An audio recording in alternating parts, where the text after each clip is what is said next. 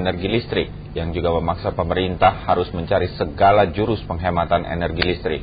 Mulai hari ini pemerintah akan menyusun langkah konkret penghematan di antaranya dengan mengatur jam kerja industri.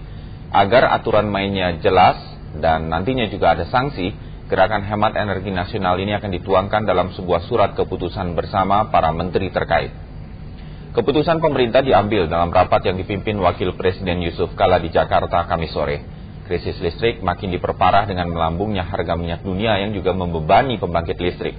Beban puncak penggunaan energi listrik, terutama untuk industri, terjadi pada hari kerja, Senin hingga Jumat. Sabtu dan Minggu terjadi penurunan yang cukup signifikan.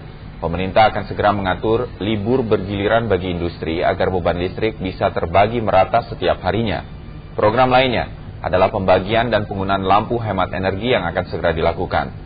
Selain itu, SKB sejumlah menteri juga akan mengatur pembatasan jam siaran televisi dan pembatasan lampu di instansi pemerintah, swasta, termasuk papan-papan iklan.